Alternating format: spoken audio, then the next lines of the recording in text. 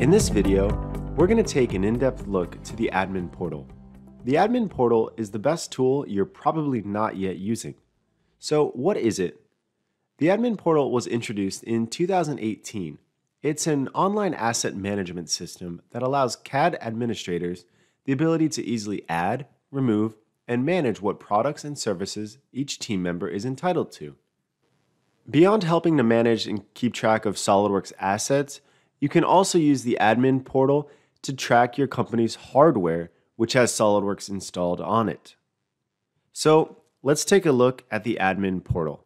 To get started, open up a web browser and navigate to mysolidworks.com.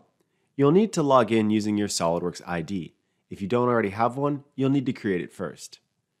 And once you're logged in, click on your name in the upper right corner to access the drop down menu and pick the admin portal.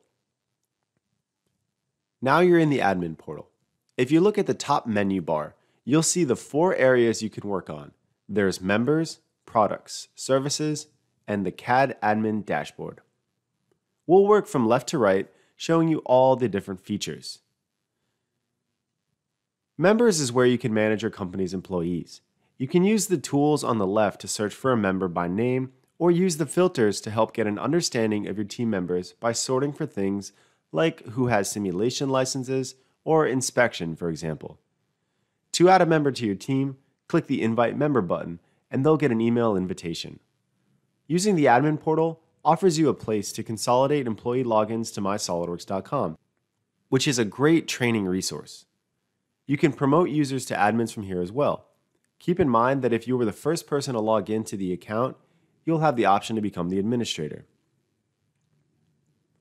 Next is products. Products is where you can understand all of your company's SOLIDWORKS licenses and assets. This replaces that traditional Excel spreadsheet we've seen in the past. Here you can assign licenses to users by just clicking on the license and choosing an employee from the drop-down list. Again, you can use the search boxes to search for a license or the filters to filter through your list of assets to help find what you're looking for and better manage all of your assets. Now, assigning here only assigns in name, it doesn't actually activate on the machines. You also have the option to download this list to Excel.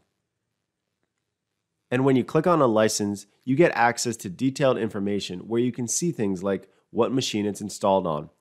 And here, you can convert your standalone licenses to online licensing, which allows the assigned user the ability to use SOLIDWORKS on whatever machine they want using their SOLIDWORKS login and password.